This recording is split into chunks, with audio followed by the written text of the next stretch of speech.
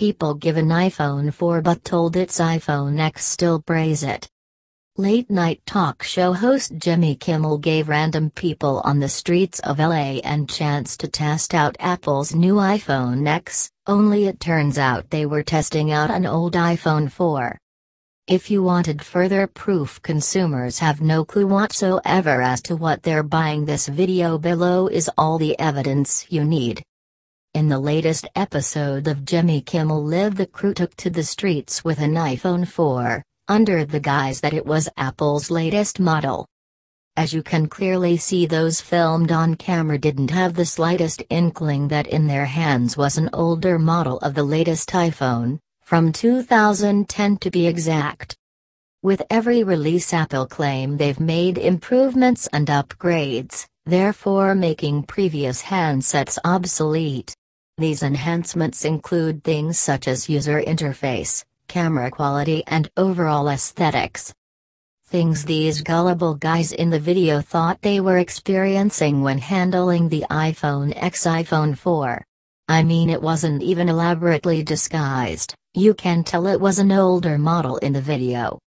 You'd be forgiven for thinking these poor folks haven't held an iPhone in their hand post 2007. While Apple's newly launched iPhones 8 and X have been a hit with its millions and millions of fans, others have been quick to call them out.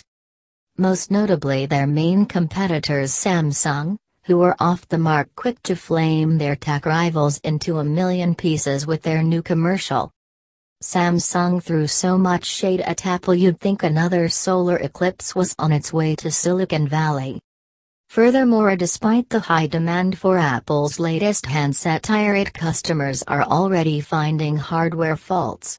One iPhone X owner in China posted a picture of his new phone, albeit with cracks and splits covered in the front and back. Despite the cosmetic damage the owner confirmed the phone still worked. Through all the constant complaints, fragility of the models, and that time Bono thought it would be a good idea to give us a U2 album on we didn't ask for, Apple still remains top dog on the smartphone scene.